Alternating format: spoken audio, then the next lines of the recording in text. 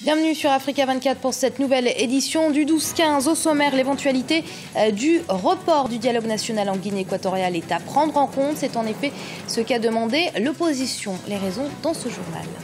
En République démocratique du Congo, l'opposition se mobilise pour le lancement du dialogue inclusif. Ce lundi, elle est d'ailleurs descendue dans les rues pour manifester qui pour succéder à Abdou Diouf à la tête de la francophonie. Ils sont cinq candidats à prétendre à ce poste, euh, parmi eux l'ambassadeur du Congo en France, Henri Lopez.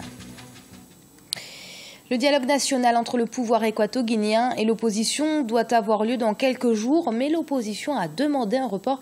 Elle estime en effet euh, que le pouvoir n'a pas respecté les conditions sine qua non à ce dialogue, dont l'application du décret d'amnistie générale pour tous les opposants politiques du pays. Reportage de notre correspondant Serge Kofi. À quelques jours du dialogue national en Guinée équatoriale, l'opposition réclame un report de la table ronde. Réunis au siège de la Convergence pour la démocratie sociale, la CPDS, les représentants des partis et la société civile ont revendiqué un report des assises. Raison évoquée, Plusieurs préalables non respectés par le gouvernement, tels que l'application de l'amnistie générale signée par le président Obiangema Bazogo à la fin du mois d'octobre dernier. Por eso aplaudimos la convocatoria del diálogo.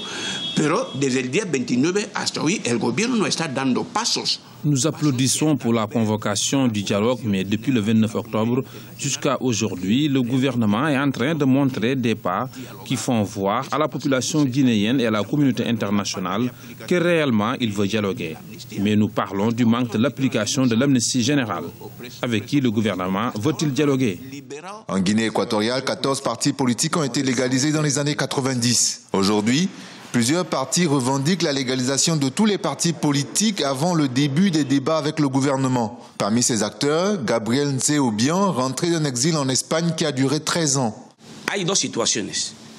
Si no nos legaliza, il y a deux situations. Si nos partis ne sont pas légalisés, avec qui allons-nous dialoguer L'autre aspect est que le temps est très court. Pour que les choses se fassent bien, il est mieux de reporter le dialogue. Des choses aussi sérieuses ne peuvent pas se faire en cinq jours. Si ce sont les élections qui font peur au chef de l'État, nous, de l'opposition, nous lui donnons deux ans de plus, mais que le dialogue se fasse bien afin que les résultats que l'opposition attend se mettent en place. Même son de cloche du côté des organisations de la société civile. Cette rencontre risque d'être un théâtre. Nous avons besoin d'être rassurés que les choses vont bien se faire. L'unique manière de bien faire les choses, c'est de légaliser les partis et les associations selon la loi équato-guinéenne. Qu'ils aient une bonne volonté. À travers la légalisation des partis, nous verrons que le gouvernement aura un intérêt à ce qu'il y ait une conversation fructueuse veremos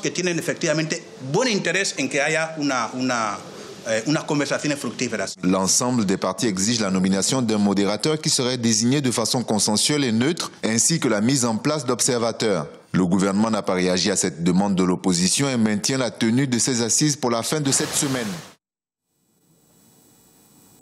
En République démocratique du Congo, l'opposition s'organise pour l'ouverture du dialogue inclusif. Elle était dans la rue ce lundi pour dénoncer le retard de l'application de l'accord cadre d'Addis Abeba.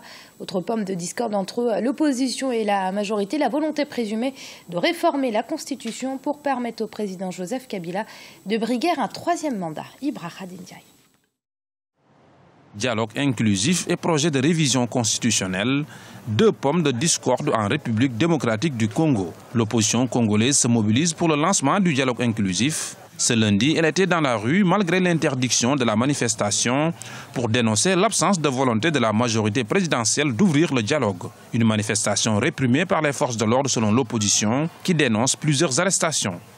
Autre pomme de discorde entre les partis d'opposition et le gouvernement, la volonté présumée de la majorité présidentielle de modifier la Constitution afin de permettre au président Joseph Kabila de briguer un troisième mandat, contrairement à l'article 220 de la Constitution limitant le nombre de mandats à deux. L'opposition euh, politique congolaise a toujours mené une euh, opposition constructive et non destructive comme ce se passe euh, à l'est du pays. nous demandons le dialogue national inclusif comme l'exige l'accord cadre d'Addis Abeba. Et nous disons aussi non à la révision ou au changement de la constitution en République démocratique du Congo. C'est tout ce que nous revendiquons. Et puis ce sont des manifestations pacifiques. Pacifiques, ce n'est pas violente. Mais nous, nous nous étonnons du fait que le pouvoir en place, à chaque fois qu'on organise une manifestation, il y a toujours euh, des policiers, il y a toujours des militaires, déjà très tôt le matin, pour essayer un peu de traquer les paisibles citoyens.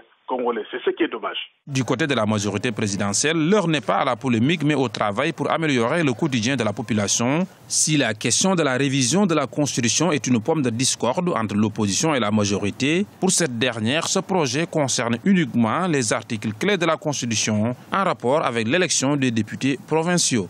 De réforme constitutionnelle est bien connu. Il porte sur des articles qui n'ont pas été verrouillés par la Constitution. Nous nous demandons au nom de quel principe euh, démocratique que l'opposition peut, se, peut refuser à la majorité le pouvoir de faire quelque chose que la Constitution autorise. Et considérons cela comme un abus. L'opposition s'exprime comme elle veut. Elle n'a qu'à euh, le faire euh, conformément au règlement qui existe dans la ville où elle veut s'exprimer, c'est tout elle se met en contact avec la police locale et puis elle fait son activité. nous ne voyons pas où est le problème. Mais seulement sur le fond, il n'y a aucune justification à ce que on interdise à la majorité de faire quelque chose que la Constitution autorise. Voilà tout. Donc là, on entre vraiment dans une sorte de délire. Deux échéances électorales importantes sont attendues en République démocratique du Congo.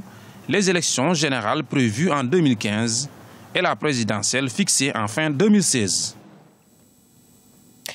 Au Mozambique, la Commission nationale électorale, la CNE, a rejeté l'appel de la Renamo, le principal euh, parti euh, d'opposition, concernant euh, les soupçons de fraude sur les résultats des élections générales du 15 octobre. Un rejet qui s'explique, selon la CNE, par le non-respect par la Renamo du code électoral en matière de pourvoi en rappel. L'ambassadeur du Congo en France, Henri Lopez, est l'un des cinq candidats au poste de secrétaire général de l'OIF, l'Organisation internationale de la francophonie. Les candidats seront départagés les 29 et 30 novembre à Dakar, capitale sénégalaise. Et en attendant de savoir qui succédera à Doudiouf, les candidats ont entamé leur campagne tous, sauf un, Henri Lopez, qui a sa propre stratégie. Amina Tadiak. Ce sont les chefs d'État qui décident le jour J à la fois de la personne et de la feuille de route qu'elle sera tenue d'appliquer. Tout ce qui se dit avant n'a guère d'importance, soutient l'ancien Premier ministre congolais Henri Lopez. Tous les candidats au poste de secrétaire général de l'Organisation internationale de la francophonie ont entamé leur campagne et déroulé leur programme, sauf le candidat congolais. L'écrivain mise sur sa propre notoriété qu'il estime acquise. Déjà en 2002, Henri Lopez s'était présenté contre Abdou Diouf pour le poste de secrétaire général de l'OIF. Pour cette nouvelle élection, il pense être l'homme de la situation. J'ai le défaut de me sentir encore jeune, de penser que je ne suis pas le même qu'auparavant et d'estimer que mon âge et mon expérience sont des atouts. En France, Georges Clémenceau n'a-t-il pas pris des décisions importantes à 76 ans? Nelson Mandela n'a-t-il pas été élu à 77 ans à la tête de l'Afrique du Sud? Ces exemples sont à méditer. Pour ma part, j'ai deux passions l'écriture, même si je n'ai pas pu m'y consacrer à plein temps, faute de moyens, et la défense de la langue française. L'actuel ambassadeur du Congo en France nourrit beaucoup d'ambition pour la francophonie.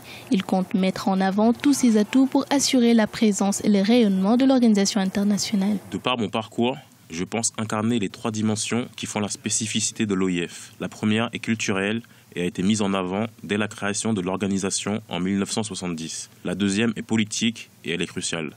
Le président Abdou Diouf l'a démontré avec brio. Enfin, l'OIF est une organisation internationale avec ce que cela implique.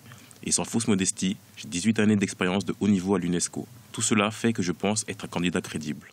Né en 1937 à Kinshasa, en République démocratique du Congo, Henri Lopez a mené de front une carrière d'homme politique. Il fut Premier ministre du Congo de 1973 à 1975, haut fonctionnaire international à l'UNESCO et aujourd'hui diplomate et écrivain à succès. Il a d'ailleurs été lauréat du Grand Prix de la francophonie décerné par l'Académie française en 1993. La même année, il devient docteur honoris causa de l'Université Paris 12 et en 2002 de l'Université Université de Québec. Accord et transfert de connaissances, c'est le nom du contrat signé ce dimanche par la Cano Sport Academy de la Guinée équatoriale et le Sporting Club du Portugal. Les deux parties travailleront ensemble dans la formation des jeunes footballeurs, une opportunité de taille selon le fondateur de l'Académie guinéenne. Reportage de notre correspondant Serge Kofi. Cano Sport Academy et Sporting Club du Portugal, partenaires exclusifs dans le football. L'accord a été signé ce dimanche à Malabo entre Candy Donzoué, fondateur de Canesport, et Carlos Vieira, directeur sportif du Sporting Club. Cannes Sport Academy est une école de football créée en juin 2013 avec l'idée de recruter et de former de nouveaux talents professionnels. L'accord de ce dimanche aura un double avantage pour la Guinée équatoriale, surtout pour la sélection nationale, le Zalan. L'accord que nous avons signé est très important, non seulement pour Cannes Sport, mais aussi pour notre pays, parce que les joueurs qui sont formés seront le futur de notre équipe nationale. Voilà pourquoi le pays bénéficiera de la jeunesse qui sortiront d'ici pour se former en Europe.